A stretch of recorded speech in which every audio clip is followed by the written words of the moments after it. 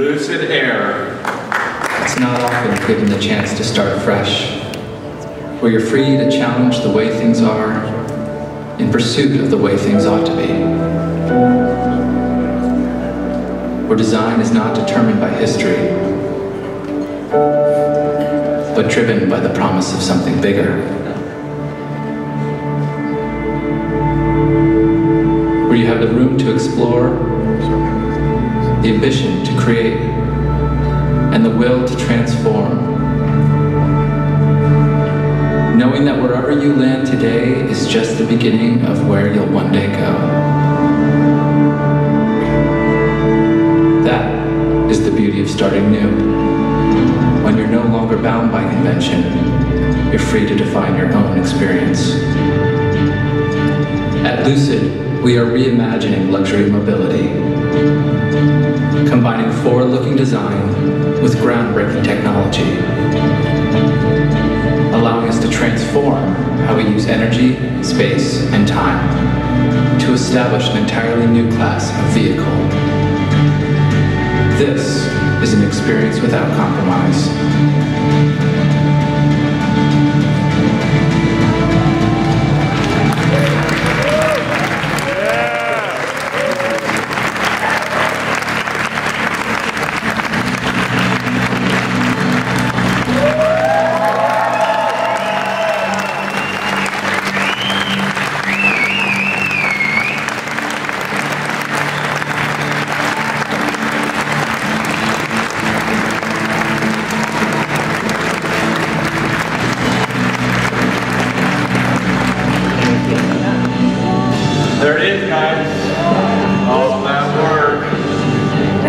So uh, I'll take a few minutes. Uh, some of you heard me talk about our car before, but uh, we'll run through uh, a few points. Um, I have my golden triangle here. One second. Uh, I always talk about um, this idea of three main priorities with any good car design. Starts with a great proportion, which is a collaborative effort with engineering and packaging.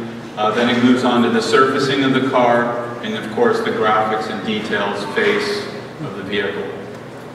Uh, Peter talks a lot about uh, the executive jet, and that's really been a kind of theme throughout this whole project, to kind of create a vehicle that's long, low, and sleek, open inside, effortlessly fast, and uh, dynamic, and that's something that we really brought into this vehicle, and I think it's one of the things that um, I think is making it quite unique as people are seeing it for the first time, because it is kind of different than a traditional, traditional luxury sedan. And that's because the silhouette is very unique, the packaging of the car is unique, the hood is short, the cabin is long. Of course, we have our amazing uh, cabin pillar theme with the aluminum uh, finish and a very, very sleek, minimalist body size with just a single, sim simple line and lower rocker area, the mouth in the front, and the tail is very, very clean and simple. The surfacing on the car um, is really one where we wanted to keep it very pure. I wanted a sculptural quality. We wanted it to still be kind of soft and, and uh, fluid, but not with a lot of lines, not with a lot of complexity, just keeping it very pure and contoured. It's almost a little bit classic, but we mix it with this modern minimalism, and I think it's, uh, I think it's a big part of the car's design. Next is the face of the car, and uh, this is where the big opportunity and the, the coming together of, of, technology has been so vital to uh, making a new aesthetic, making a new face. It's really a form function link up, and much of that is because of the lighting concept and the cooling concept, and maybe Peter uh, can run, run, run us through that. Yes, well, covering these lights have been designed and developed in-house, patented, unique technology to us, uh, micro lens array. And the inspiration for these headlamps is quite different from conventional lamps. If you think of two headlamps, replicates the human face, and a single lens per headlamp, really inspired by the human eyes. And we've taken inspiration from nature, from insects, and thousands of micro lenses.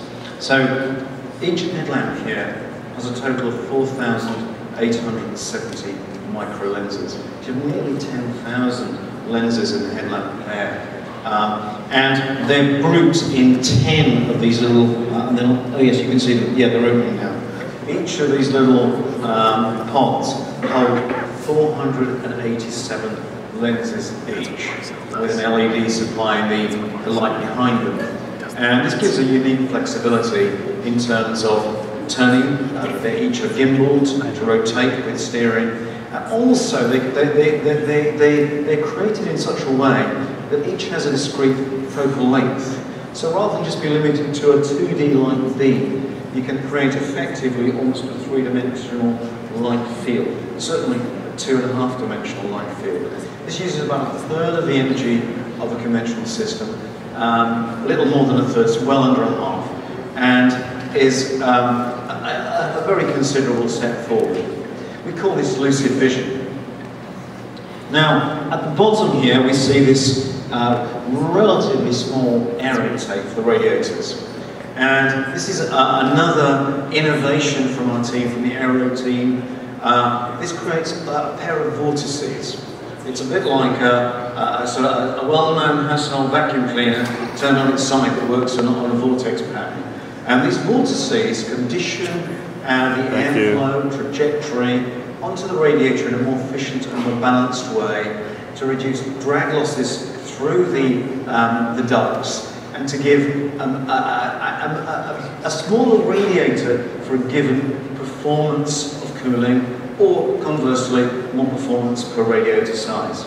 And we call this, not surprisingly, lucid vortex. So you've got lucid vision, lucid vortex, redefining the face of the, the car and stating that this is definitively a high-tech product. So it, it's that combination um, that, that really allowed us and gave us the freedom to design out beyond uh, internal combustion. I've worked on enough cars, enough internal combustion cars, and the limitations are always the same. It's always the cooling, it's the big headlight beams. Um, and, and in this case, the freedom that was brought from a design standpoint is really enabled by technology, which is the best form of design because uh, it, it, you, just by its nature of, of its function, um, you, you get a new aesthetic, you get something fresh and exciting and new. Um, just a little piece of information, the, these beams are set at only 10% of their lighting capacity. So the lighting team had to turn them down so we don't melt your faces. So pretty, it's just how powerful they are, it's quite remarkable. So, um, of course, we continue that theme around the rear of the car with this minimalist uh, LED tail light as well as the uh, lower bumper. Both front and rear bumpers, all in the center here, package um, our, all of our autonomous, autonomous features, cameras, LiDAR, and radar. Uh, so we've package protected for that with the design, so we're able to accommodate that and make it part of the aesthetic of the vehicle.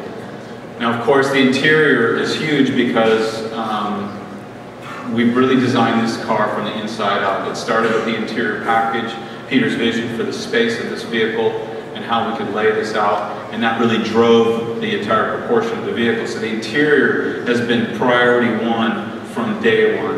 Um, and at the focal point of the interior is, of course, our, our OLED display screens, our three uh, touch panels across the front array under one seamless piece of glass, and of course our large center display, which is then retractable into the dash, and is finally working, very happy to say, and it's amazing. Um, of course the rear seats, you guys all know the story behind the rear seats, and, and they're just incredible. They're at a stage now, and I can tell you the reaction to them has been absolutely amazing. Of course we have our bench seat, and we've been working on rear seat entertainment concept and how to take that forward together with um, some other convenience features in the back of the car. We've got our glass canopy roof. I don't know um, if any of you have had a chance to ride in the Alpha cars with the canopy. It's just incredible. Um, I was blown away by that last night. I got my first ride in the back and it was amazing.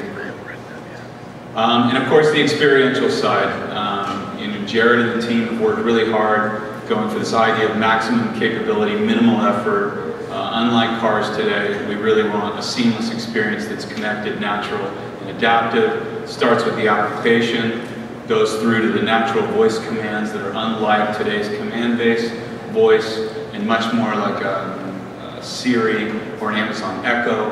Uh, creates a much more seamless experience inside the car where you just simply ask the car what you want and it gives it to you. Um, and nobody else has integrated that kind of uh, natural voice in a vehicle yet, and we want to be, absolutely want to be the first. And then lastly is adaptive. The car knows your schedule, it knows your routine, it knows what you like, and it adapts to your um, daily experience over time. And it knows your profile, it knows your spouse's profile, and it would adapt accordingly. And of course, as you know, everything we've done here has been conceived with an autonomous cockpit in mind. A vehicle that is wonderful for driving manually, but that is also perfectly suited for uh, an autonomous experience. We have 29 speakers seamlessly integrated into the interior. Um, and this is quite incredible if you think about how silent this car will be. The audio experience has to be something very, very special.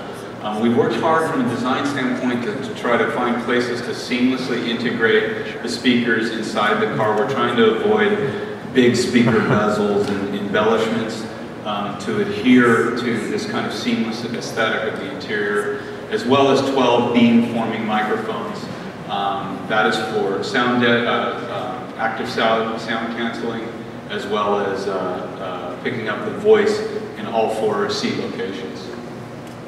Um, color and materials has been a big part uh, on our group. Uh, Sue and Idil have done an amazing job developing the different materials, very natural, very pure. Because the interior is somewhat minimalist and non-traditional, I would say, we've put a lot of emphasis on natural materials.